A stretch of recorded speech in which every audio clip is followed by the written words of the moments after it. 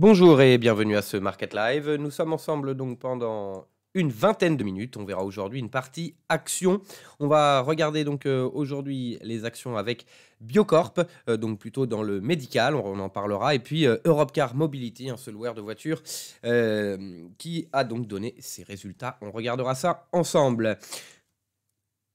Je le dis euh, immédiatement, mardi prochain, donc toujours un Market Live Action, ce sera un Market Live spécial Coinbase, euh, donc sur les cryptos bien entendu, et sur les actions, l'introduction en bourse de Coinbase. Donc on en parlera euh, mardi prochain à 16h, un rendez-vous donc basé sur l'action, mais également sur les crypto-monnaies, et cette introduction en bourse qui pourrait donc faire passer un peu les crypto-monnaies dans un autre univers. On en parlera, ce sera mardi prochain pour le Market Live Action. On va donc s'intéresser aujourd'hui, je le disais, à Biocorp et Europcar Mobility, et puis on regardera les indices américains avant l'ouverture, et puis le Bitcoin. On commence donc euh, tout de suite hein, sur euh, sur euh, une introduction, bien entendu, une introduction donc sur ce que regardent les marchés. On en parlait ce matin. Il y a donc les minutes de la fête qui ont été publiées, donc peu de nouvelles informations, mais les marchés en prennent tout de même plutôt de, manière extrêmement positive, hein, comme si c'était une, nouvelle information. C'est simplement le compte rendu de ce qui a été dit il y a trois semaines, mais les marchés en profitent une nouvelle fois. Le soutien, bien sûr, de Jérôme Powell, une économie mondiale, une économie américaine et mondiale qui qui va progresser de façon importante. L'économie américaine qui pourrait progresser, ce sont les perspectives économiques de la Fed et du FMI. Euh, la plus belle progression euh, de la croissance depuis 40 ans. Malgré tout, il faut tout de même encore justifier une politique monétaire. Euh, donc il y a des risques, toujours des risques au niveau de la pandémie, et donc pas de ralentissement de, de cette politique monétaire extrêmement accommodante avant 2023. Pas de crainte d'inflation également hein, pour, pour la Fed, malgré la hausse des matières premières et les, tous les facteurs que je cite régulièrement qui sont plutôt en faveur d'une inflation importante. Euh, donc tout est bon, tout va bien pour les marchés financiers, il y a une croissance que l'on attend de façon importante, pas de risque d'inflation, une poursuite euh, de l'injection de liquidités qui euh, est justifiée par tout de même certaines incertitudes sur le rebond économique, qui je le rappelle pourrait être en 2021 euh, le plus beau depuis, le plus important en tout cas depuis euh, plus de 40 ans. Voilà donc sur euh, les minutes de la Fed. On a également les, justement les perspectives du FMI qui ont été données il y a deux jours avec ces chiffres justement, un relèvement de, perspectives économiques.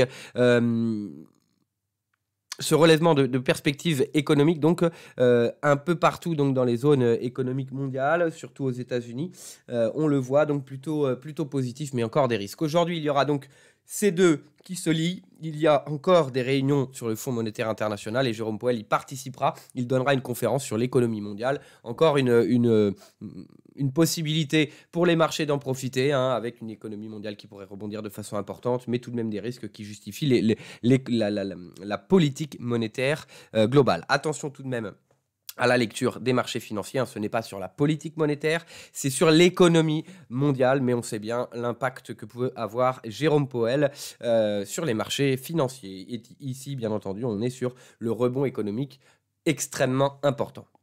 Pas de crainte d'inflation pour le moment. Voilà un peu ce qu'on a, ce qu'on a, et puis on a bien sûr la, hum, Christine Lagarde, ou en tout cas on a le, le compte rendu de la politique monétaire donc de, euh, de la BCE. Donc euh, pas de relèvement justement des achats d'actifs. Il pourrait y avoir une réduction éventuelle euh, après l'accélération donc euh, économique du deuxième trimestre. On suivra cela avec attention. On suivra surtout, hein, c'est pareil, les minutes ou en tout cas le compte rendu de la, politique monétaire de la BCE. On connaît déjà les informations, donc peu de mouvements. On suivra au niveau de la BCE, ce sera le 22 avril, hein, la prochaine réunion de politique monétaire, où on pourrait voir peut-être euh, Christine Lagarde qui pousse un peu plus les gouvernements à des des aides et des soutiens budgétaires plus importants, euh, comme on le voit aux États-Unis, qui permettent justement d'avoir une perspective de croissance extrêmement importante aux États-Unis. Donc euh, Christine Lagarde pourrait justement préciser peut-être une, réduction du montant euh, des, achats d'actifs un programme en tout cas, et pousser un peu les gouvernements à, augmenter le soutien budgétaire qui peut faire du bien justement. On le voit aux États-Unis, ce qui est bon euh, à court terme, hein, mais à long terme tout de même, il y a eu un stimulus, je le rappelle, d'environ 20% du PIB américain, et puis maintenant il y a une politique de grands travaux, en tout cas des dépenses sur les infrastructures de 2000 milliards qui devraient être financées par euh, la hausse des impôts aux États-Unis, mais qui paraît tout de même très compliqué. On, verra si Joe Biden arrive à financer ses 2000 milliards sur 8 ans sans augmenter la dette qui dépasse tout entendement déjà. Voilà donc ce qui, était suivi hein, par les marchés, les inscriptions au chômage, pas d'incidence sur les marchés, alors qu'il y a une nouvelle hausse des inscriptions au chômage. Cela fait donc deux, euh, deux, semaines où nous avons une hausse. On est à 744 000, on attendait seulement 680 000, donc une hausse également des allocataires au chômage des, allocataires au chômage de longue durée. Cela permettra probablement à Jérôme Powell de justifier la politique monétaire, même si cette politique monétaire euh, semble plutôt pour soutenir les marchés financiers euh, que euh, directement soutenir le marché de l'emploi et la croissance. Mais voilà, une, hausse de l'emploi, très probablement des mots de Jérôme Powell, ou une justification qui va se tourner un peu vers l'emploi. Rappelons-nous, hein, la, Réserve fédérale qui avait ajouté justement cet emploi pour justifier un peu plus longuement sa politique monétaire. On voit des inscriptions au chômage qui euh, reprogressent, qui est plutôt très très bon pour les marchés. On le voit d'ailleurs, aucun impact négatif après cette publication. Voilà ce qui, ce qui euh, intéresse les marchés aujourd'hui. On va regarder donc deux actions. Je vais mettre le graphique et puis on va parler un peu euh, des, on va parler un petit peu donc des nouvelles. Biocorp, une société qu'on regarde peu parce que c'est une petite capitalisation, mais qui a bien progressé. Voilà l'évolution hein, de Biocorp depuis euh, l'introduction en bourse depuis 2015. Euh, donc euh, plutôt flat, hein, enfin une évolution entre 15, 10 et 15. et puis voilà, une accélération sur les 33. Hein, tout ce qui touche à la santé a fortement progressé. Et une société qui a des perspectives tout de même plutôt encourageantes. C'est une société donc qui est spécialisée dans le développement et également la fabrication de dispositifs médicaux, de solutions connectés dans le domaine de la santé. Donc euh, on touche à la santé, on touche euh, aux dispositifs médicaux et en plus ce sont des solutions connectées. Donc euh, voilà, déjà dans la présentation de la société, étant donné ce que nous vivons actuellement entre la pandémie et bah, cette pandémie qui nous a obligés à, à, se connecter un peu plus et à être un peu plus online, c'est plutôt, plutôt positif. Voilà un peu euh, le, descriptif de la société. Comme je le disais, hein, c'est une société euh, qui, ne pèse pas énorme pour le moment, mais qui a tout de même des perspectives de croissance intéressantes. On regardera le graphique ensuite. Hein. Les résultats qui ont été donnés, hein, vous allez voir, c'est une petite société pour le moment. Chiffre d'affaires de 8,5 millions d'euros, ce n'est pas des milliards, bien entendu, des millions, euh, avec un résultat net négatif de 1,24 million d'euros contre un résultat positif de 1 million en 2019. Le cash, lui, a augmenté également, ce qui est une bonne nouvelle. Hein. Euh, c'est une société qui est justement en recherche et développement, euh, euh, qui, produit tout de même, hein, mais qui a besoin de cash important. 2 millions d'euros donc de, cash à fin 2019. On est maintenant à 4,9 millions d'euros à fin 2020. Il y a eu des prêts garantis par l'État et une hausse de capital, une augmentation de capital pardon, de 4,2 millions d'euros, mais ce qui a permis de faire entrer des nouveaux actionnaires de poids. Ici, il y a donc eu des craintes en 2020 hein, concernant le Covid, la Covid en tout cas, euh, comme beaucoup de sociétés. Mais on le voit, hein, le, chiffre d'affaires est ressorti à 8,5 millions d'euros, mais il était euh, à un peu plus de 9 euh, en 2019. Donc un impact qui reste assez modéré. Il y a donc eu des craintes par rapport à la Covid au début de l'année 2020, des craintes sur, sur les projets qui pourraient être abandonnés. Finalement, simplement quelques retards sur les projets, aucun abandon. La fabrication et la commercialisation, il n'y a eu aucun retard. La production a été stoppée seulement 3,5 jours en 2020. Euh, et il y a surtout, comme je le disais, donc des perspectives de croissance. Il y a eu. Euh, de nombreux partenariats qui ont été signés, ce qui permet d'avoir une perspective euh, assez intéressante sur le chiffre d'affaires. On va le dire dans un instant. voilà, donc cette société qui, a, qui est assez petite comme on peut le voir. Il y a tout de même du volume hein, parce qu'on peut le retrouver sur la, plateforme IG. Pardon, on peut le retrouver sur la plateforme IG. Donc euh, ici, euh, cette augmentation capitale de nouveaux partenariats, euh, un soutien en 2020 et donc pour 2021, il y a euh, un résultat qui est à nouveau attendu positif et en très forte hausse sur les années à venir. Le résultat net est attendu à à peu près 15 millions d'euros. Hein. Donc par rapport à ce qu'on a aujourd'hui, euh, un chiffre d'affaires à 8,5 millions d'euros, vous voyez bien cette progression extrêmement importante. Le bénéfice net par action est attendu à 3,63. Autrement dit, par rapport à la capitalisation actuelle, ce qui est important, hein, euh, ce qui est à peu près 11%, 12% du, du cours de bourse actuellement. bénéfice par action, hein, bien sûr. Cela donc, on suivra avec attention. Hein. je vous invite à, regarder les différents partenariats. Mais voilà, une progression extrêmement importante qui est attendue euh, chez euh, Biocorp. Donc, euh, je rappelle, c'est une société dans le médical, le développement et la commercialisation pardon, de dispositifs médicaux et surtout de solutions connectées.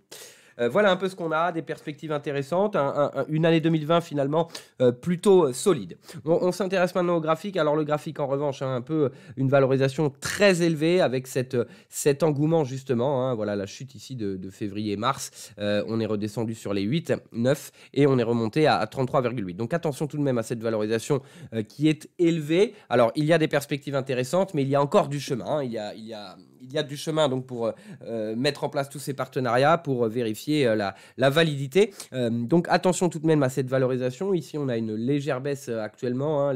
la plupart, enfin certaines, certaines actions sont plutôt en baisse ici, ce qui n'est pas significatif hein, du CAC ou autre. Ici, donc 30 euros. On a vu l'échec à nouveau, hein. donc attention à, un retour baissier. En cas de cassure, en tout cas, on a plusieurs objectifs. Une, une, clôture sous les 30 euros hein, pourrait amener à une poursuite de l'accélération baissière avec les deux moyennes mobiles 100 et 200 périodes et cet oblique qui pour le moment n'est pas significatif, seulement testé à deux reprises. Mais on a également le Fibonacci. Le Fibonacci, historique, en tout cas depuis l'introduction en bourse, ici avec le plus bas à 6,84 et le plus haut historique à 33,80. Donc on a tout de même un niveau de, support important entre l'oblique euh, euh, et, ce Fibonacci. Attention à la cassure qui pourrait nous amener à une accélération baissière et qui pourrait nous amener sur l'autre Fibonacci ici, hein, on l'a vu euh, directement. voilà, le, Fibonacci avec le deuxième point de contact sur les 33,8, on est allé directement sur ces 38,2 de Fibo. Donc, en cas de cassure justement des 27,70, 27, 27,50, 27,60, on pourrait voir une accélération baissière et, venir chercher les 23,50 qui pourrait être une opportunité d'achat euh, plutôt intéressante. L'ancien plus haut historique hein, euh, était euh, à l'introduction en bourse, donc plutôt sur les 17,50. Donc, une valorisation euh, qui, a, qui, a, fortement explosé. Euh, donc on peut attendre une correction un peu plus importante, en tout cas venir ici euh, à minima sur les 27,50, 27,60 pour, pour se replacer et voir une accélération. Mais attention tout de même, la cassure, une valorisation qui est tout de même élevée, il y a des risques encore. La, perspective, hein, ce sont des perspectives, c'est une toute petite société. Attention tout de même au risque. mais voilà, une perspective plutôt encourageante. Pour le moment, peut-être un peu élevée, mais on voit hein, le, cours qui se maintient depuis, euh, depuis maintenant six mois. Donc, on peut s'attendre à un mouvement euh, assez important, étant donné le mouvement que nous on a eu. Attention à la correction. Venir ici sur les 23,50, en cas de cassure, on pourrait voir une, accélération plus importante. Mais ici, on surveille à court terme la clôture sous les 30 qui pourrait nous amener à un retour sur les 27,50. En cas de cassure, on va aller chercher les 23,50. Retour au-delà des, des, 30, des 30 euros, on peut aller chercher de nouveaux plus historiques, en tout cas sur les 33,8. On va regarder maintenant Europcar, Europcar Mobility hein, qui est en train de baisser après ses résultats. On est toujours ici sur l'extension le, de FIBO. On va en parler dans un instant. D'abord, les informations. Les informations donc euh, au niveau de au niveau Europcar Mobility, un ce loueur de voitures. Ce loueur de voitures donc on se souvient de Hertz, euh, Hertz hein, qui, a, qui, a, fait faillite, ou en tout cas qui, pardon, qui a fait faillite dans certains pays, euh, mais qui avait profité de l'engouement des investisseurs particuliers pour euh, ce genre de société qui, qui est très, mal, très mal en point, mais, mais voilà, mais qui progresse de façon importante. On l'a vu avec GameStop, etc. ici, Hertz. Donc, ici, nous sommes sur Europcar qui a profité, bien sûr, d'un prêt de l'État et d'autres de restructuration de sa dette. D'abord, on va parler des résultats avec le chiffre d'affaires faire moins 42%, 1,76 milliard euh, d'euros, euh, moins 45% en taux de change et périmètre constant, mais moins 63% dans les aéroports. Hein. c'est un business assez important dans les aéroports, les loueurs de voitures, les gares, les, aéroports, bien entendu, mais on peut penser qu'à la réouverture, euh, de, à la réouverture on l'espère bientôt, du monde, et notamment de l'Europe, puisque c'est le, premier, euh, euh, le premier marché d'Europe Car Mobility. On n'a plus Hertz également, hein, qui a fait faillite dans certains de ces pays. Cela pourrait être plutôt positif pour Hertz, pour, pardon, pour euh, Europe Car. Hein. Pour le moment, c'est, on accuse le coup des résultats qui sont bien sûr négatifs. Le chiffre d'affaires, je l'ai dit, hein, moins 45% taux de change périmètre constant et moins 63% dans les aéroports. Et donc, un rattrapage extrêmement important dans les aéroports, notamment en Europe, à la réouverture de ce monde. L'EBITDA, lui, qui, qui traduit un peu de, l'exploitation, l'EBITDA ajusté, moins 172 millions d'euros contre plus 389 millions d'euros en 2019, donc bien entendu bien, impacté. La perte nette, 645 millions d'euros, donc contre un résultat net de 30 millions d'euros en 2019. C'est la pire année depuis la création de, ce groupe d'Europecar, maintenant appelé Europcar Mobility, qui a été créé en 1949. Les efforts qui ont été faits, c'est la baisse des coûts de 1 milliard d'euros au lieu de 850, 850 millions d'euros prévus, qui pourrait être plutôt bénéfique euh, pour la reprise, justement, hein, une, réduction des coûts qui va profiter aux années à venir, qui, on l'espère, seront beaucoup plus profitables pour le groupe. La flotte, en revanche, est en baisse de 39%, hein, plus que 180 000 véhicules, euh, mais voilà, une, une, dette qui a baissé, donc qui permettra justement de, réinvestir en temps voulu. Euh, les prêts également, mais bien sûr avec une baisse de flotte de 39%, on ne s'attend pas au même chiffre d'affaires immédiat euh, pour Europcar. Hein. et une, baisse de la flotte qui est plutôt, euh, plutôt intelligente, en tout cas, à moins 39% de la baisse de la flotte, moins 42% sur les chiffres d'affaires. Euh, voilà, un peu, peu des liens qu'on peut faire. Les prêts de l'État et de la, de la, France pardon, et de l'Espagne qui ont été à hauteur de 321 millions d'euros. Euraseo également qui possédait 30% du loueur. Une belle affaire. Ici, donc, euh, qui était tout de même à plus de 12 euros, euh, Euraseo donc, a, mis un peu de temps à se décider, puis s'est retiré au profit des créanciers. Donc, les quatre gros créanciers du groupe euh, possèdent la plus grosse partie du capital du groupe. la dette, grâce à ça, grâce à, Euraseo et au prêt, la dette donc passe de 2 milliards à 905 millions d'euros, donc tout de même une division de plus de 50% une baisse de 50% de la dette, ce qui est plutôt euh, encourageant. Il y a eu également la hausse du capital, de, augmentation de capital de 225 millions d'euros à 0,19 euh, centimes. Il n'y a pas de prévision, donc bien sûr, avec toutes les incertitudes, et notamment en Europe, comme je l'ai dit, c'est le premier marché du groupe. En revanche, à moyen terme, on peut voir des perspectives plutôt encourageantes. Maintenant qu'il y a eu des baisses de coûts, qu'il y a une trésorerie, ou en tout cas une, euh, une, dette qui est réduite et une trésorerie qui est, qui est en place avec l'augmentation de capital, avec euh, le, prêt de l'État donc euh, de 321 millions d'euros. ils attendent donc un, chiffre d'affaires en hausse en 2021, on l'espère pour eux tout de même euh, par rapport à 2020, ce serait euh, tout de même extrêmement inquiétant sinon. Euh, et ils attendent un fort rebond quand le, le, monde va réouvrir finalement, surtout en Europe parce que c'est le premier marché du groupe, comme je le disais.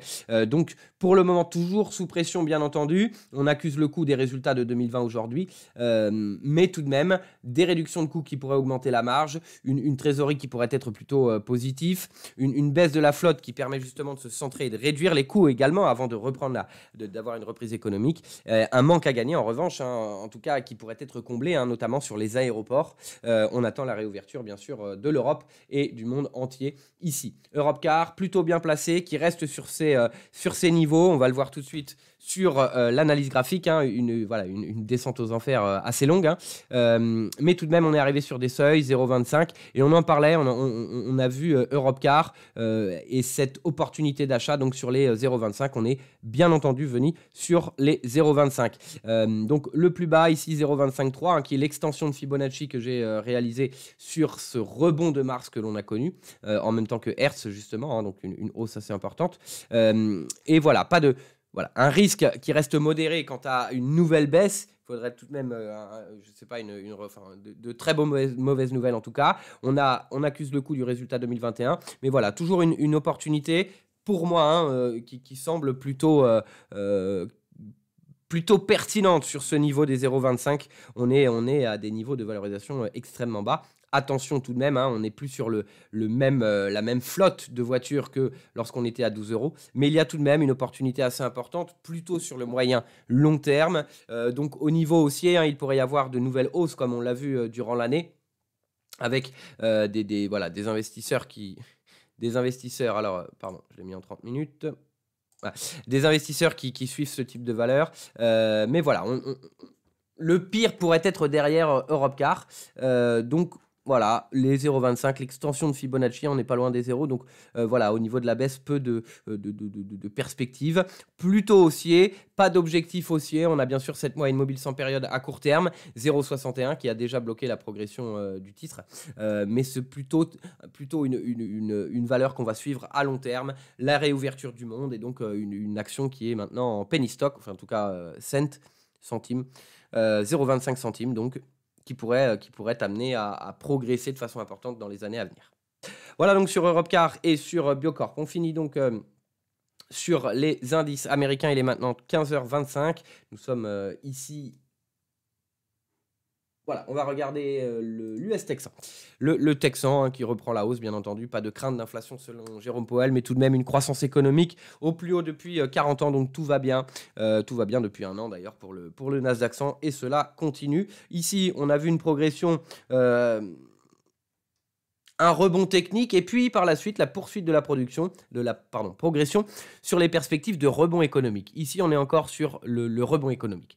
Euh, donc c'est toujours le même, hein, il n'y a pas eu de, rebond entre les deux. Euh, mais voilà, on progresse sur le rebond économique à venir qui se précise. Et malgré ce rebond économique, on continue, on est presque dedans hein, sur le rebond économique. Euh, on continue d'avoir une politique monétaire extrêmement accommodante pendant encore quelques années, bien entendu. Donc finalement, un rebond économique, on a encore une politique monétaire extrêmement accommodante. Puisqu'il n'y a pas de, crainte d'inflation, hein, pourquoi arrêter euh, ces injections de liquidités qui font que finalement l'inflation, on la retrouve quand même assez de façon flagrante sur les actifs financiers. Mais selon la Fed, il n'y a toujours pas euh, d'inflation donc sur, euh, sur l'économie globale.